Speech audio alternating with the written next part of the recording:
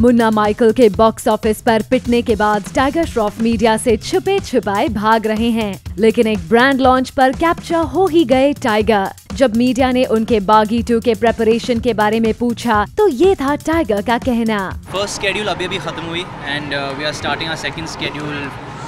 कल से एक्चुअली तो बस busy you know taking one day at a time बहुत ही चैलेंजिंग फ़िल्म है मेरे लिए, एक एक्सपेक्टेशन है उसमें। यू नो क्योंकि बागी वन हिट गई थी तो people are expecting this one to be bigger and better so